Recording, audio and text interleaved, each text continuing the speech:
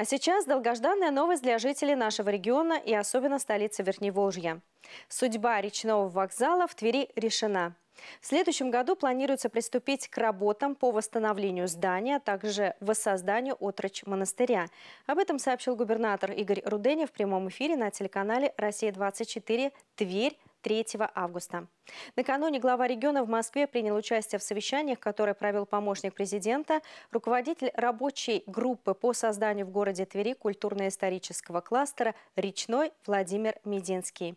Проект реализуется по поручению Владимира Путина, который поддержал инициативу региона. В настоящее время подготовительный этап по созданию кластера завершен. Проведено обследование зданий речного вокзала с применением современного оборудования.